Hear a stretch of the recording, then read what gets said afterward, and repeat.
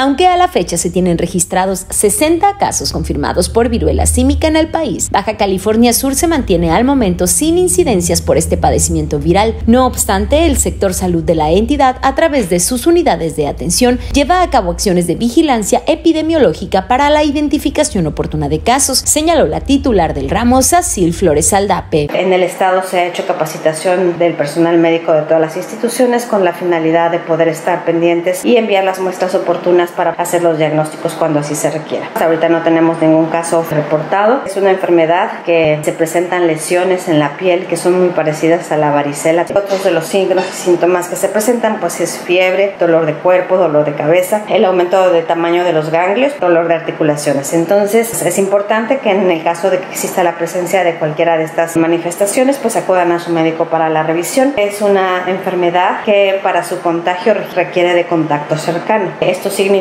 que no es una enfermedad que se contraiga solamente por estar cerca de una persona, tiene uno que estar en contacto, o sea, tocar a la otra persona o tocar objetos que hayan estado en contacto con las lesiones de esa persona. Luego de que la Organización Mundial de la Salud emitió una declaratoria de emergencia de salud pública de importancia internacional por este padecimiento, la servidora pública señaló que al momento nuestra entidad no tiene incidencia de esta patología que puede generar síntomas como fiebre, cafalea, dolores musculares, dolor de espalda, de energía y ganglios linfáticos inflamados.